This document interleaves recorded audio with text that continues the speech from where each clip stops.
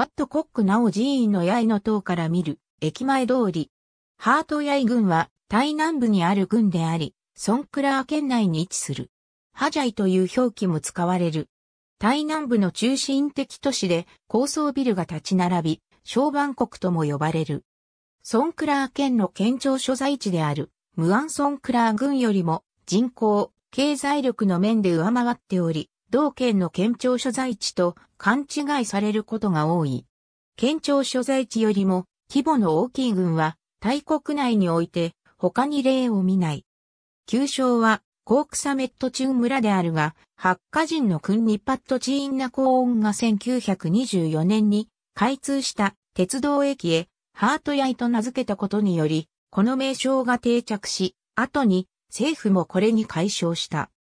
ハートヤイとは、ハート、ヤイと説明されることが多いが、軍自体は内陸部にあり、大最大の湖であるソンクラー湖に面してはいる。ものの、海に接していない。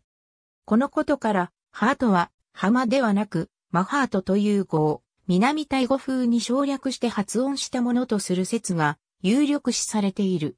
マハートとは、クワ科の植物、ラクチパンの木のことである。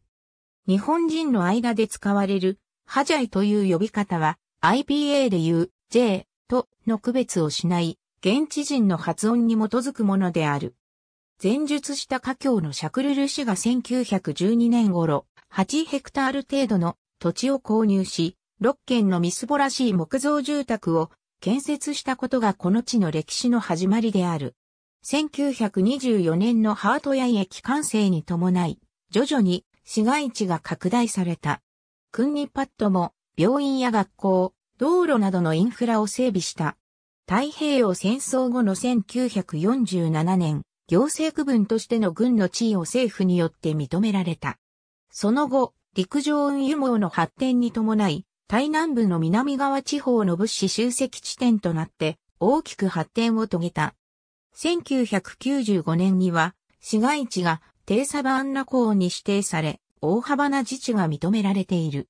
軍北東部は大最大の湖、ソンクラー湖に面している。市内にはウータパオ運河が流れており、水運が同国における輸送手段の中心であった時代には大きな役割を果たした。1月から3月までは寒気である。台北部と比べると雨季が長く、雨量も多い。前述のように、台南部の南側地方の物資集積地点であり、小万国と呼ばれるほどの経済力を有する。また、ソンクラー県及び周辺県の交通の中心としても機能しており、ハートヤイ国際空港があるほか、1日に28本の大国鉄やマレー鉄道の列車の発着を取り扱い、機関区も置かれた主要駅のハートヤイ駅を有している。マレー鉄道の夜行寝台列車のうち、マレー半島を北上するランカウィエクスプレスはこのハートヤイ駅が終着であり、マレーシア国鉄駅でマレー半島縦断旅行の切符を買う場合もハートヤイ駅までのものしか買えない。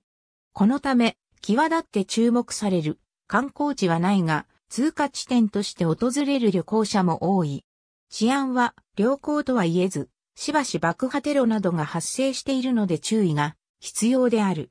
これは、台南部がイスラム過激派組織の温床になっていることに関係すると思われる。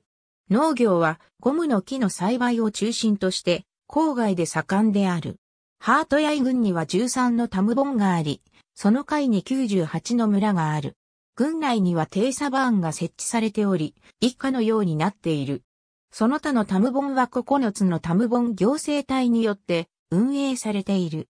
以下は、ハートヤイ軍のタムボンの一覧である。なお、以下の内欠番のタムボンは、ハートヤイ軍から分離し、バーンクラム軍、クローンホイコーン軍となったタムボンである。タムボンハートヤイタムボンクワンランタムボンクータウタムボン広本タムボンクローンヘイタムボンクローンウータパオ、タムボンチャルンタムボントゥンヤイタムボントゥンタムサオタムボン、ターカームタムボンナムノイタムボンバーンプルタムボンパトン。ありがとうございます。